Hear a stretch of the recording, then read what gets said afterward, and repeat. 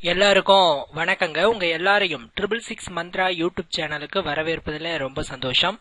இந்த வீடியோ பதிவில் நாம என்ன ஆன்மீக தகவலை பற்றி பார்க்க போகிறோம் அப்படின்னா ஜூன் மாதம் இரண்டாம் தேதி இரண்டாயிரத்தி இருபதாம் ஆண்டு செவ்வாய்க்கிழமை.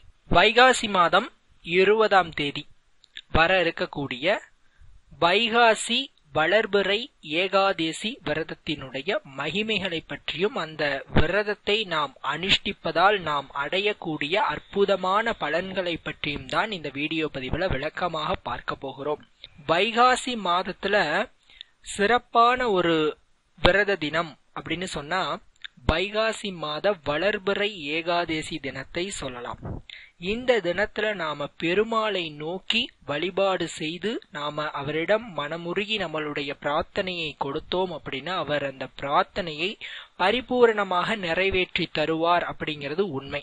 எப்படி சொல்றீங்க அப்படின்னா வைகாசி மாதத்துல வரக்கூடிய அந்த ஏகாதசி அதாவது வைகாசி மாதத்திலே வளர்பிறை காலத்திலே வரக்கூடிய ஏகாதசி திருநாளை மோகினி ஏகாதசி அப்படின்னு சொல்லுவாங்க. திருஷ்டிமான் அப்படிங்கிற ஒரு அரசர் அரச போகங்களை அனுபவிப்பதுல மட்டுமே குறியாக இருந்திருக்கிறான் அப்படிப்பட்ட மன்னன் கவுண்டின்ய முனிவரினுடைய அறிவுரையின்படி வைகாசி வளர்பிறை ஏகாதேசி விரதம் இருந்து வாழ்வின் மாயைகளாகிய சுகபோகங்களிலிருந்து மீண்டு பெருமாளினுடைய பரிபூரண அருளை பெற்றான் அப்படிங்கிற ஒரு கதை இருக்கிறது. எத்தனையோ ஏகாதசிகள் வந்தாலும் கூட இந்த வைகாசி வளர்பிறை ஏகாதசிக்கு சிறப்பான பலன்கள் இருக்கிறது.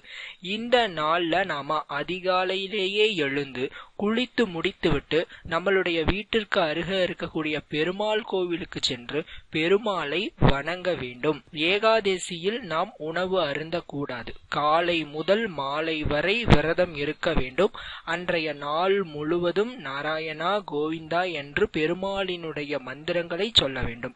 விஷ்ணு புராணங்களையும் விஷ்ணு சகஸ்திர நாமத்தையும் பாராயணம் செய்தோம் அப்படின்னா மங்காத செல்வம் நமக்கு எப்போதும் கிடைக்கும். அதே மாதிரி மாலை நேரத்திலும் நாம வந்து பெருமாள் ஆலயம் சென்று பெருமாளை வழிபட்ட பின்பு வீட்டிற்கு திரும்பி பால் பழம் சாப்பிட்டு நம்மளுடைய விரதத்தை முடித்துக் கொள்ளுதல் வேண்டும். இந்த வைகாசி மாத வளர்புற ஏகாதசி திதியில் விரதமிருந்து பெருமாளை வழிபடக்கூடிய நண்பர்களுக்கு நீண்ட நாட்களாக வாட்டி வதைக்கும் நோய்களிலிருந்து விடுபடுவார்கள் அப்படின்னு சொல்லப்படுகிறது. மற்றும் உடல் சோர்வு அத்துணையும் நீங்கும் அப்படின்னு சொல்லப்படுகிறது.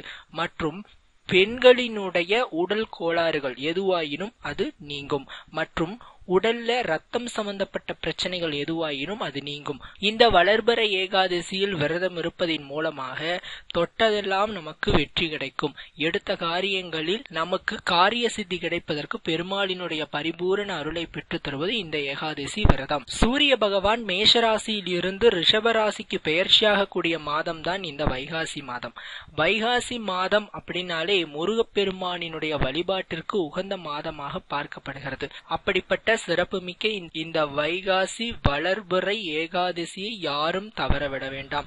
அவசியம் அனைவரும் முறையாக விரதம் இருந்து எம்பெருமாளை வணங்கி வேண்டியவற்றை அனைத்தையும் பெற்று எந்த குறையும் இல்லாமல் சுபிக்ஷமாக வாழ வேண்டுமாய் எல்லாம் வல்ல அந்த திருமாலை வேண்டிக் கொள்கிறேன். இந்த வீடியோ தொகுப்பு நிச்சயம் உங்களுக்கு பயன் தரும் வகையில் இருந்திருக்கும் என நம்புகிறோம். மற்றொரு ஆன்மீக தகவல் வீடியோவில் உங்களை சந்திக்கிறேன். நன்றி வணக்கம்.